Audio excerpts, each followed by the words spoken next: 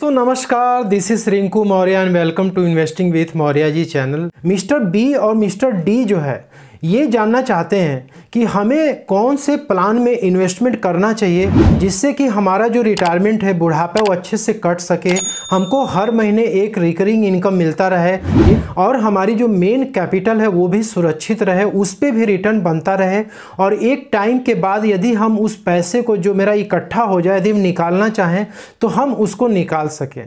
तो दोस्तों, इस प्रकार का जो प्लान होता है, उस प्लान को कहते हैं सिस्टमेटिक विड्रॉल प्लान प्लान। जी हाँ दोस्तों इस वीडियो में हम सिस्टमेटिक विड्रॉल प्लान के बारे में बात कर रहे हैं। तो जो लोग रिटायर हो चुके हैं उनके लिए हाइब्रिड फंड काफ़ी अच्छा होता है। तो यहाँ पे मिस्टर बी और मिस्टर डी की बात की जा रही है। अब मिस्टर बी जो है एसआईपी करना चाहते हैं three thousand rupees per month का।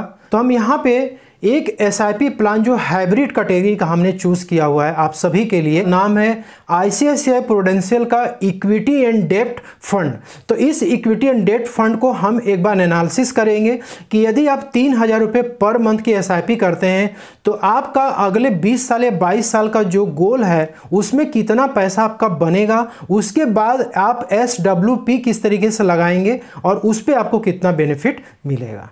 तो हम बात कर रहे थे आईसीआईसीआई प्रूडेंशियल म्यूचुअल फंड का इक्विटी एंड डेप्ट फंड तो इस फंड को एक बार हम यहाँ पे स्टडी कर लेते हैं कि पिछले थ्री इयर्स में इस फंड ने 26.22 परसेंट का सीएजीआर जनरेट करके दिया हुआ है। और यदि पिछले फाइव इयर्स की बात की जाए तो 19.33 परसेंट का सीएजीआर इसने जनरेट करके दिया हुआ है।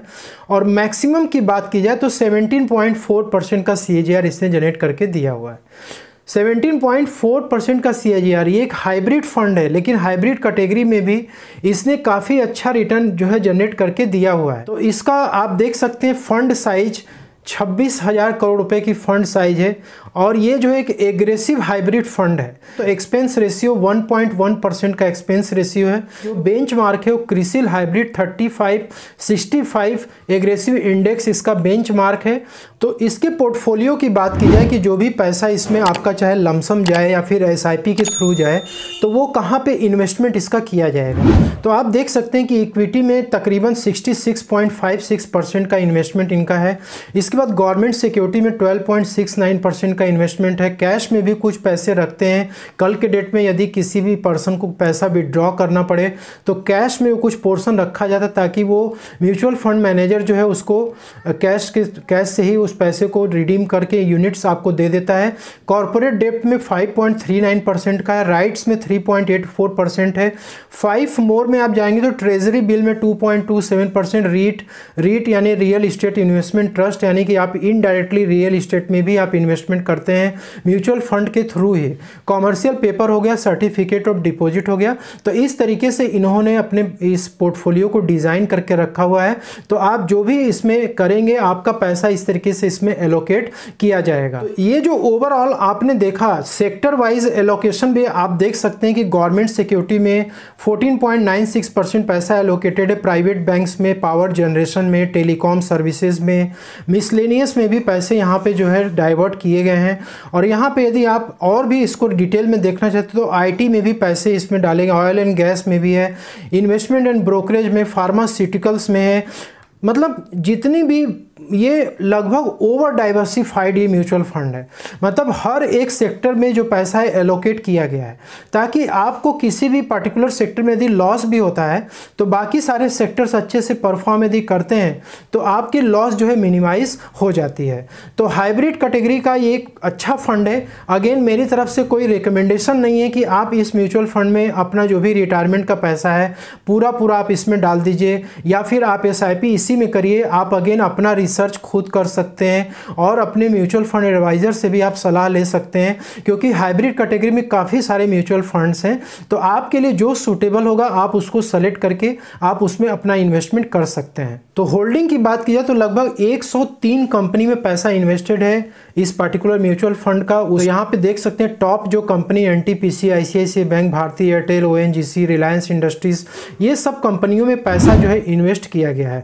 तो आप यदि इसमें इन्वेस्टमेंट करते हैं तो आपका पैसा जो है काफ़ी हद तक जो है सेफ़ रहता है क्योंकि बड़ी कंपनीज़ में पैसा इन्वेस्ट किया जाता है और ट्रैक रिकॉर्ड है बड़ी कंपनियों का जो कि रेपुटेड कंपनी होती है, वो पास्ट में काफ़ी अच्छे से वो मैनेज करके चलती हैं अपने आप को तो उसमें वॉलिटिलिटी काफ़ी कम देखने को मिलती है। तो three thousand rupees per month की एसआईपी हमने यहाँ पे इंटर कर दिया है।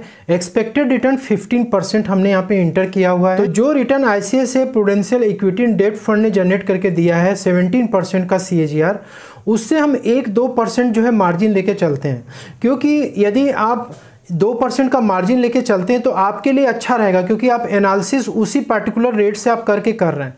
आपको दो परसेंट एक्स्ट्रा मिल जाए, वो बात की बात है, लेकिन हम थोड़ा सा नीचे लेके चलते हैं सेफ़ साइड में हम चलते हैं कि लॉन्ग टर्म में फिफ्टीन परसेंट का सी जनरेट करके मिलता है।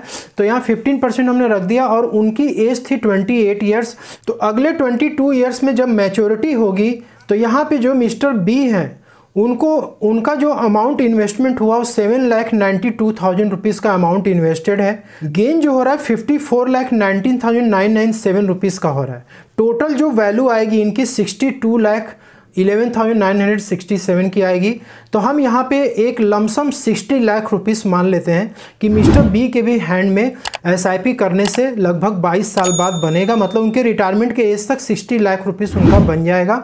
और मिस्टर डी का भी 60 लाख रुपीस तैयार रखा हुआ है। तो आपने देखा कि मिस्टर बी के पास भी, मिस्टर डी के पास भी sixty lakh rupees lump sum amount अब आ चुका है।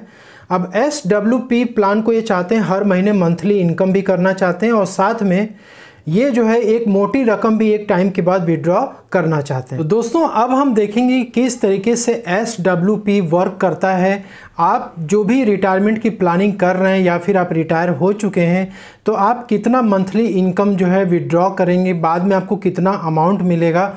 तो यहाँ पे इसे 60 लाख रुपीस का एक लमसम अमाउंट जो मिस्टर डी के पास है और जो मिस्टर सी रिटायरमेंट की प्लानिंग कर रहे थे एस कर रहे थे तो उनका भी लगभग 62 लाख के आसपास एस कैलकुलेट होकर के आ रहा था। ऑन एन एवरेज यदि सिक्सटी लाख रुपीज़ आई की इक्विटी एंड डेप्ट फंड में यदि डालते हैं और चालीस हज़ार रुपये पर मंथ हम विड्रॉ करते हैं और जो एक्सपेक्टेड रेट है ना रेट ऑफ़ रिटर्न है हमारा लॉन्ग टर्म के लिए वो फिफ्टीन परसेंट का रेट हम रखते हैं और अगले ट्वेंटी ईयर्स के हम इसको रखते हैं कि ट्वेंटी ईयर्स तक यदि हम इसको विड्रॉ करते हैं तो हमें कितना पैसा जो है यहाँ पे विड्रॉ करने को मिलेगा।